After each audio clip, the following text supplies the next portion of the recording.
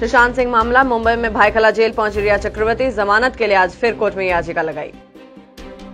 US election 2020 Trump ने अमेरिकी नागरिकों को किया सावधान, डेमोक्रेटिक की जीत यानी चीन की जीत।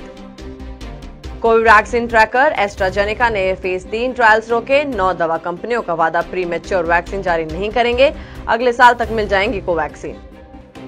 देश में पहली बार एक लाख के पार कोरोना के नए मरीज़, दिल्ली में बड़े नए मामले। हिमाचल में राष्ट्रीय शिक्षा नीति लागू, देश का पहला राज्य बना। हिमाचल प्रदेश में पाँच दिन बारिश की बेहद कम संभावना, मैदानी क्षेत्र में रहेंगी उमस। पंजाब में प्राइवेट अस्पतालों व लैब में भी होंगे कोरोना के रैपिड एंटीजन टेस्ट, जारी किए दिशा निर्देश पंजाब के आठ श्रद्धालु उत्तराखंड में हो गए थे लापता, अब जाँच को अमृतसर पहुँची सीबीआई की टीम। हरियाणा के नौ जिलों में बादल बरसे, बारह ज़िले पानी को तरसे, प्रदेश में छह फ़ीसदी कम बरसात। ताज़ा अपडेट्स व बड़ी खबरों के लिए सब्सक्राइब करें अर्थ प्रकाश टीवी और बेल आइकन दबाना न भूलें।